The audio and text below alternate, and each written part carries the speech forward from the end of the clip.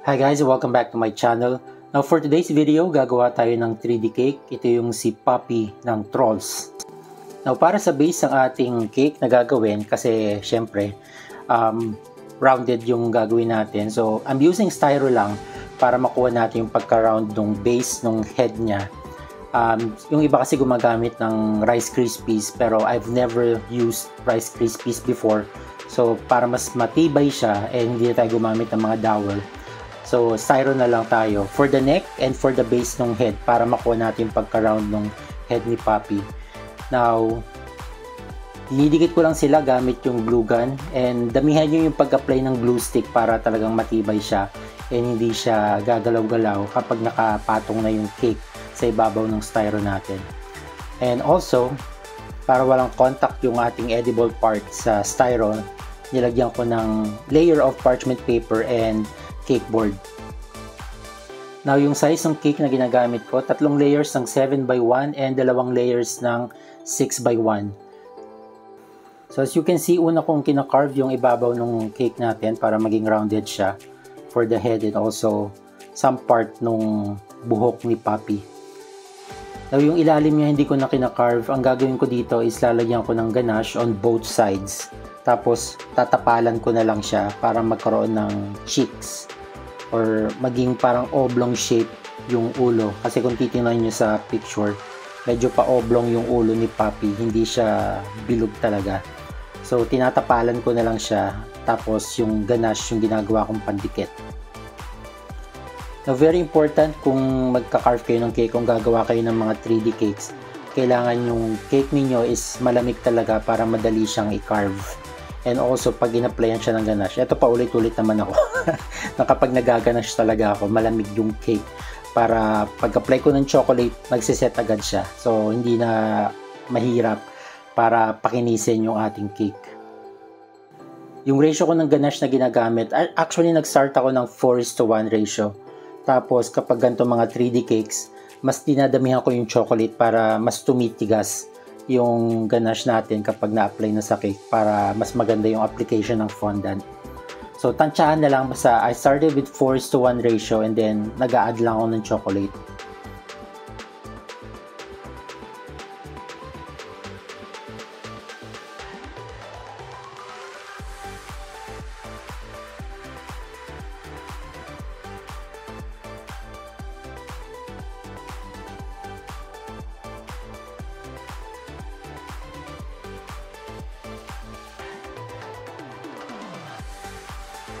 Also, pati yung ilalim niya, yung styro part, nilagyan ko ng ganache para didikit yung ating fondant. Alright, so magpo-fondant na tayo. Ito, ano lang siya, nilagyan ko lang siya ng red color para maging pink. Basically, yung ating fondant. And tinapal ko lang siya on one side. This is the front of the head.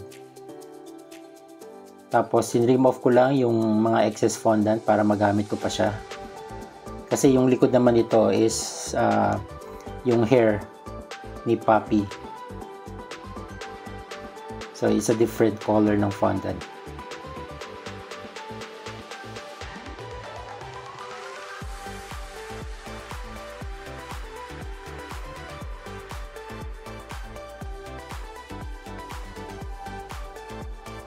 So, nilagyan ko din yung lower part ng back.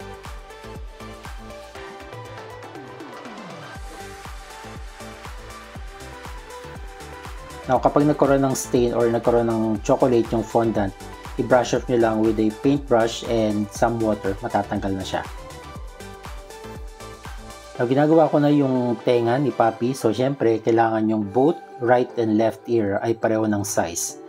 And basically, ginagaya ko lang kung ano nakikita ko sa picture using my two favorite fondant tools pag nagde-design ako ng fondant.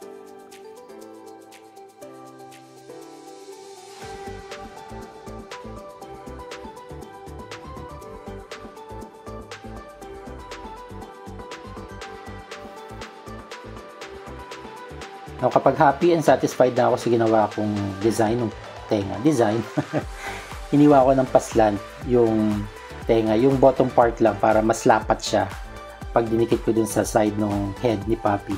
And gagamitan ko ng barbecue stick para syempre may support. And bago ko dinikit is binutasan ko muna yung tenga niya para pag sinuot ko dun sa barbecue stick, hindi lulubog yung stick. Kasi minsan kapag sa cake siya nakatusok. So habang nilalagyan mo ng, ng fondant design, bumabaon yung barbecue stick kasi. So finishing touches na lang yung ginagawa ko sa ear para makuha natin yung shape and yung form na dapat para sa ear ni Papi.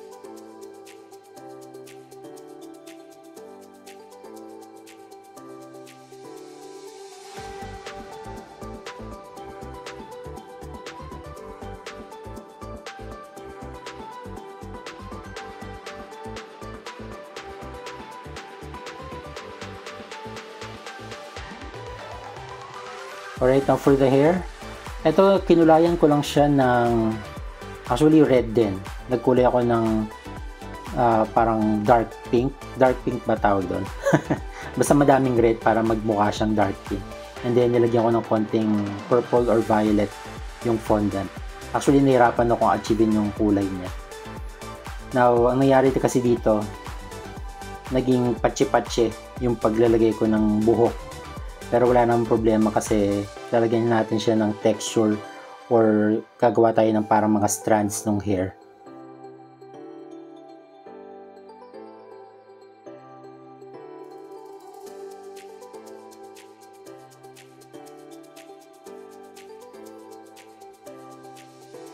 Yan, so lalagyan nyo lang ng mga lines para magmukha siyang strands.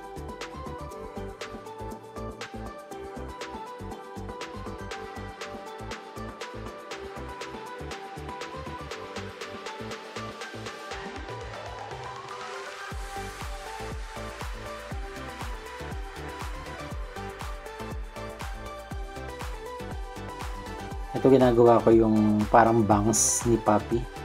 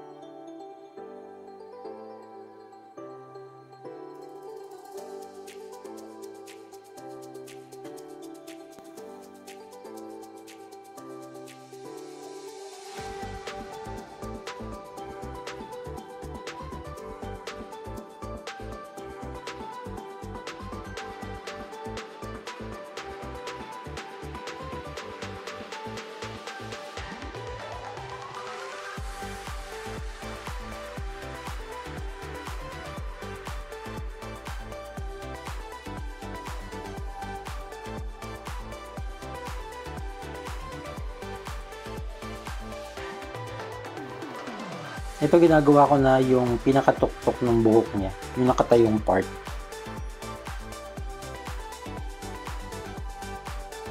Actually gusto ko mas makapal kaso naubusan ako ng fondant and ayoko na magkulay baka magiba yung shade kapag nagkulay ako ng bago. So yan biniblend ko lang siya sa top part ng head.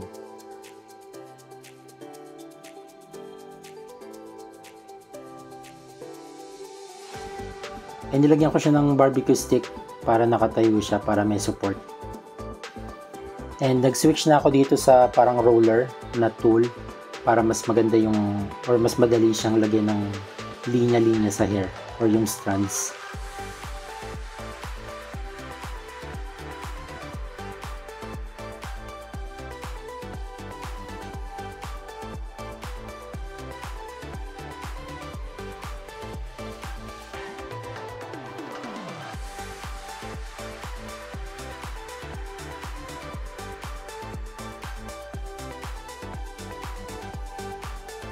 And nag-a-add na lang ako ng mga konting fondant dun sa maninipis na part.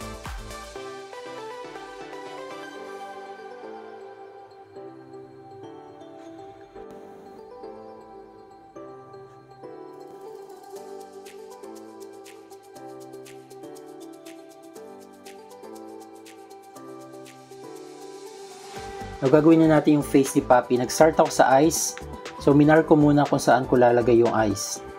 And then, nag-create ako ng parang cavity for the eye para hindi siya, kasi ang pangit tingnan kapag gagawa ko yun ng mukha tapos ipapatong nyo lang yung fondant nyo, yung pinaka-eyes. Ipapatong nyo lang so nagiging nakaumbok siya or nakaluwa dun sa mukha niya. So, kailangan may cavity siya. Doon nyo ipapasok yung detail na ilalagay nyo for the eyes para nakalubog siya sa mukha. Okay, so, I started with black fondant. Tapos, nilagyan ko siya ng eyelid. Eyelid ba tawag dito? Hindi ko alam. Basta ganyan. And then, yung white part ng eyes,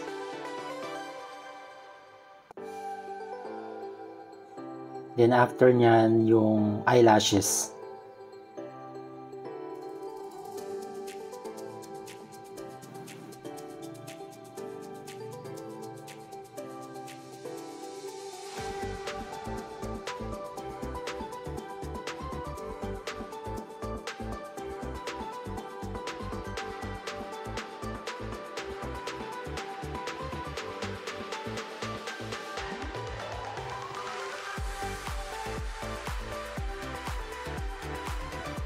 Now, ang ginagawa ko ngayon yung ilong ni Papi. So, tulad ng tenga, ginagaya ko lang kung nakikita ko sa picture.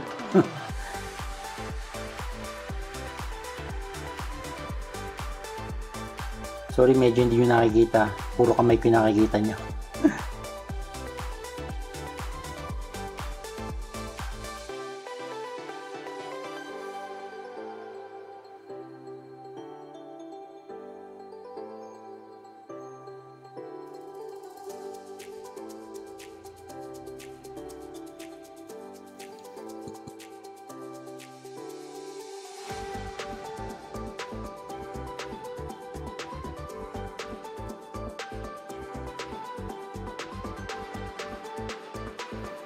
So after nyan, nilagay ko na yung iris para dun sa mata. Same color lang siya nung ginawa ko dun sa parang eyelid niya. And then yung pupil niya, which is yung black detail dun sa pinaka-center ng eye.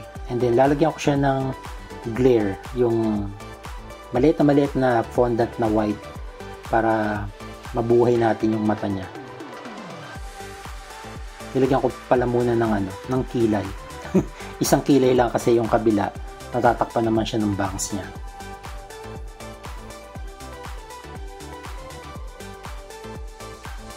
So, ito na yung tiny dot ng white fondant para sa detail ng eyes. Na magkakat ako sa lower part ng, ng ilong niya para sa mouth. So, syempre, kailangan nakasmile. And then, tinanggal ko siya tapos pinalitan ko ng black fondant. And then, i-attach natin yung ngipin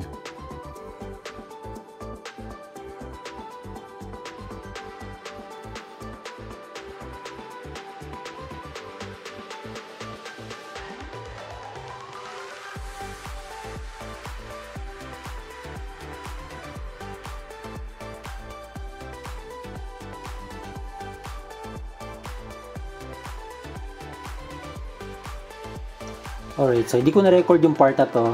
Well, actually, wala pa naman nangyayaring masyado. Nilagyan ko lang siya ng band sa ulo niya. Green fondant. Tapos, ang nilalagay ko ngayon yung details sa headband niya. So, nagkat ako ng sunflower cutter. Tapos, pinitas ko yung mga petals niya. And then, yun yung nilagay ko dun sa details para sa headband. And then, ginagawa ko yung center ng flower freehand lang siya using parang light blue or medyo turquoise kasi nilagyan ko ng konting green yung blue fondant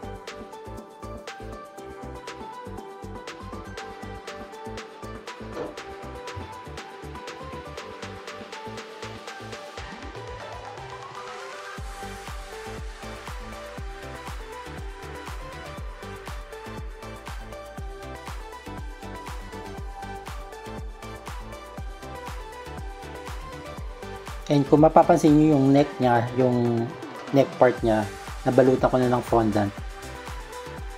Tapos after nito, lalagay natin siya ng yung parang strap ng dress niya. So after niyan, lalagyan na natin yung strap para sa dress ni Poppy. So same color lang siya kung anong ginawa natin dun sa flowers. And as you can see, hindi ko na masyado binibigyan ng importance yung likod ng cake. Nakafocus lang talaga ako sa front. And babalutan na natin ng yellow-green fondant yung cake board natin para magmukha siyang grass. So, ina-applyan ko ng tubig lang to para dumikit yung fondant natin sa cake drum or cake board. Yung cake board size ko is 12 inches na cake drum.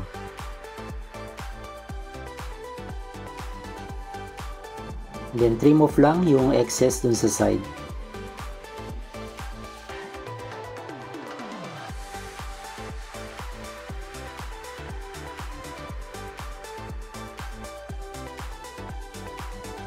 Alright, so after nyan, gagawin na naman natin yung dalawang kamay ni Poppy.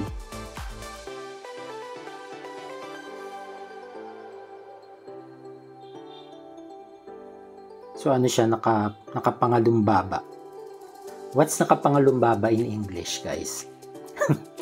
Write in the comment section below. Ayan. So, ganyan lang siya. Pinatong lang.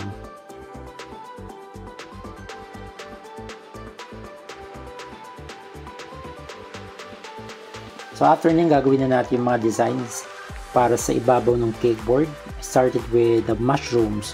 Now, for the bottom part ng mushroom, ganyan lang siya. Pink din yung color. Tapos, for the head ng mushroom, marbled lang siya na fondant. Different colors ng fondant, minarble ko lang siya para may design na rin yung head ng mushroom. For this one, it's blue, tapos yung green and then white. Actually, mga leftover na fondant.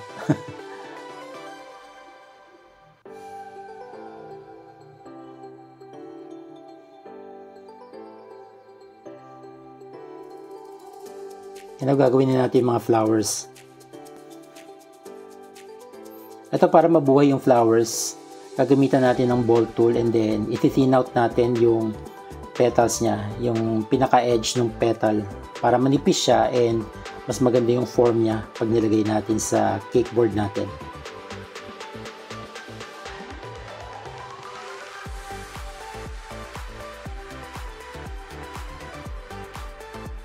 Tapos naglagay ako ng maliit na maliit na white na mga flowers. Tapos ito gagawin natin yung parang mga grass. Actually, ano din to flower cutter or plunger. So, hinati ko sa gitna and then, ayan, para na siyang damo.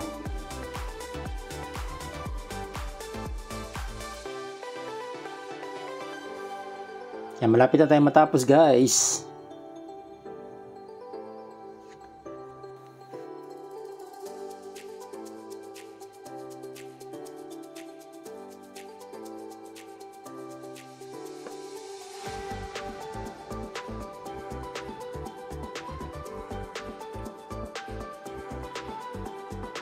Okay, so after nyan, hindi ko pala na-record na nilagyan ko na siya ng pangalan din sa cake. The name of the celebrant is Samara. Tapos nag-add lang ako ng additional flowers sa side ng name.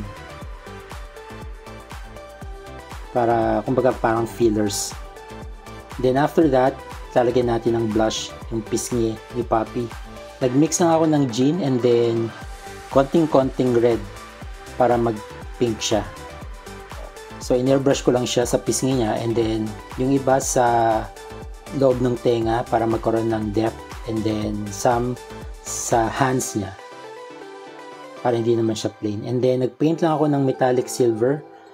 Tiny dots ng metallic silver sa pisngi niya or dun sa nilagay natin ng blush para magkaroon ng sparkle.